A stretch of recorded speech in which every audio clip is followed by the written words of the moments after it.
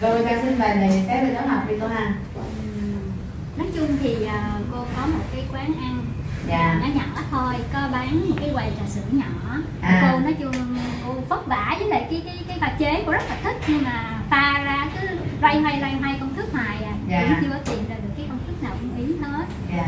Cô có ừm, chút thay đổi cho Vương ba đó. À. Cô có mua nguyên liệu ở đây để về Dạ. pha chế. Dạ. À, theo cái công thức vài cái công thức trên đó Dạ. nói chung cũng có thì giờ lắm đâu nhưng tại đam mê thôi dạ thì à, sau khi mà học cái lớp thứ năm đó cho anh Nguyên chỉ thích quá nên Dạ. ký học về cái lớp bài chế này À. tôi thấy rất là thích rất là ý dạ cô tự tin pha được à, Không. sau sau khóa học này thì cô nghĩ là cô tự tin Dạ. ngon rồi cảm ơn cô nhiều